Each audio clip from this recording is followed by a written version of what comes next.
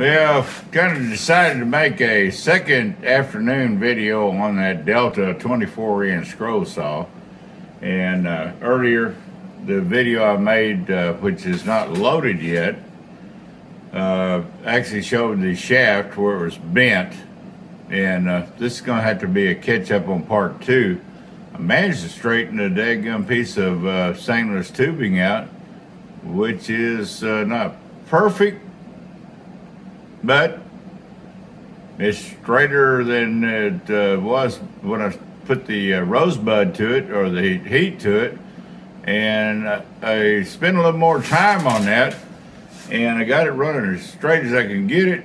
And uh, if not, I will go get a a new piece of uh, the stainless tubing, which is 5 eighths, uh, six. it's 45 thousandths thick. But let's uh, go here and we're over to mill right now and show you how I polished it up. I was actually going to do this earlier.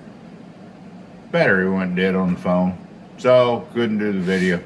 Let's uh, get this over here real quick and let's fire this thing up.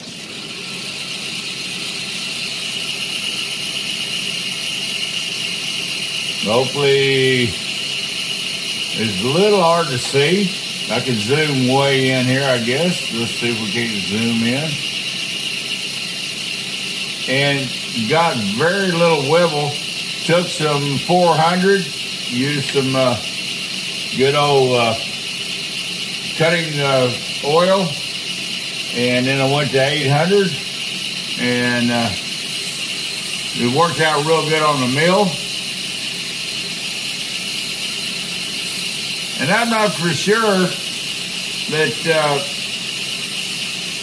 I could not polish this to a chrome, chrome finish. But she's got very little uh, wibble in and out. Let's turn this off a minute. Let's clean her up. Then we'll move over there to uh, what we got done this afternoon. But uh, yeah, chucked up in a 5 8 uh, collet just fine. And uh, there was a little bit of scoring uh, right in through here. And so let's uh, turn this off just, well, let's stop this video and go over to the other parts.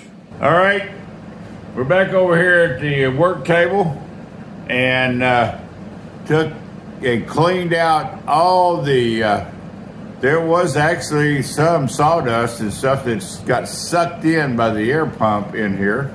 Not bad, but uh, got zero backlash.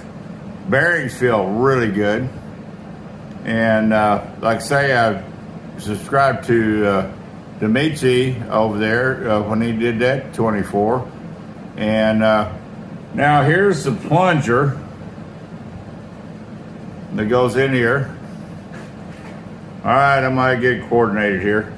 Non-metallic, and of course ABS wasn't around then, but it almost uh, feels and looks like uh, metallic. This is the piston goes in here, but I don't find any oil in here because these are sealed Timken bearings according to the parts number in uh, very, very good shape. But I am going to reassemble this and I'm going to put some either light oil, like five weight oil in here, or I need some comments. Uh, maybe I use graphite, just a little bit. So this thing will run around here on this shaft You know, you can see the plunger action if I hold my fat fingers out of the way. And it it's nice and, you know, nice, snug, tight fit. I'm gonna lay this back down here. And uh, here is the cap that goes in. The O-ring, uh, being a wide O-ring, is in pristine shape. I may put a little bit of brake uh, you know, fluid on it, swell it a tiny bit. It wasn't filthy. It, this is how I pulled it out. And here in this little cup, boy, I hate to reach my hand down in that acid, but uh, I'm soaking this up here. This is the one for the uh, uh, bottom and the uh, let me get this over here real quick. The set uh, thumb set screw will not budge more than about two turns. So we're going to leave that in the acid for a little bit and then we'll uh, neutralize it and that was for the lower part of the blade. Got the plate that holds on the top of the housing all cleaned, ready to go. Got the main oil plug cleaned that comes out of the bottom of a 24 inch. Some of the other ones had a knockout plug, but this one actually had a place for the plug to drain the oil, change it. Very good design. And uh, again, I'm going to reiterate from uh, Vintage uh, Machinery uh, and Tools, uh, Keith Rucker's uh, site. When you download these, I'm going to have to contribute to his site because this is uh, valuable, valuable information. Not a total restoration manual but there's eight pages here that has helped immensely. And uh, let's go over here. I'm gonna stop the camera a minute. We're gonna get a light. We're gonna shine down into the oil well. Let's hope that I can get you a good shot down in here. Now, there is some old debris, uh, caked up oil. Uh, it's not really, really bad, but uh, I'm going to be cleaning this out and I'll put that plug back in here. Going to be knocking out, of course, that uh, bronze uh, bushing, replacing it. But uh, this has got to be pristine clean. And uh, let me see if we can get a good shot down in here. Yeah, there is, uh, you know, caked up and a little bit of rusty debris down in there if I'm giving you a good shot.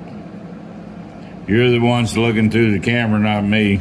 So uh, clean up this reservoir, clean up the wrist, take this head off, pristinely do it. And uh, I'm thinking uh, go ahead back to like the original color because it is all battleship gray. And I've got numerous you know, the South Bend, well, excuse me, the LeBlond lathe is gray, the J.D. Wallace radial arm saw is gray, the drill tree over there in the uh, corner, it's all, uh, you know, battleship gray.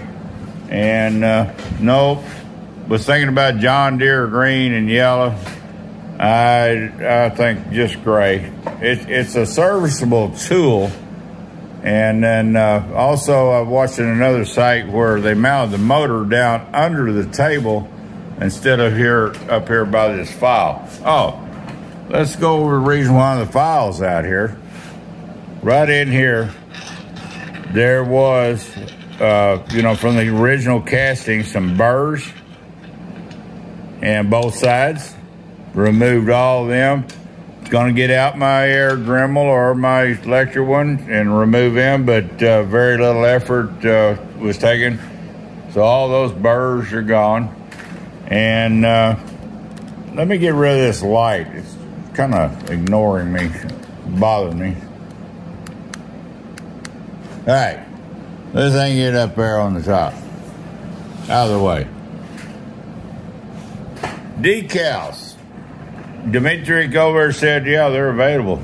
And uh, maybe Randy Richards, uh, you can give me a where you get all your Delta decals. Uh, I would sure appreciate it because definitely need this is a decal, not a brass badge.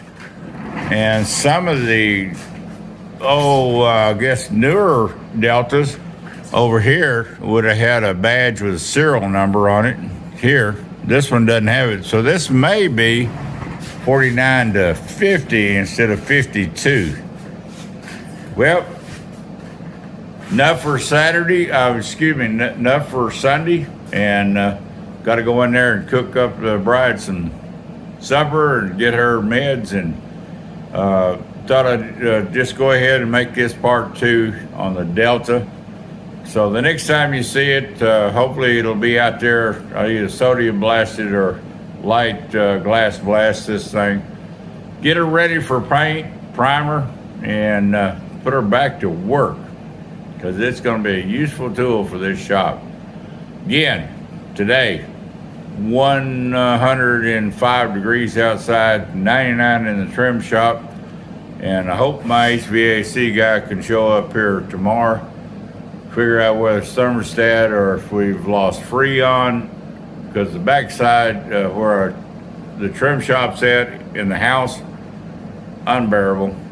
And uh, that also uh, impacts the front so. We're out of here again. This is uh, going to be part two on the delta 24 scroll saw. Y'all come back visit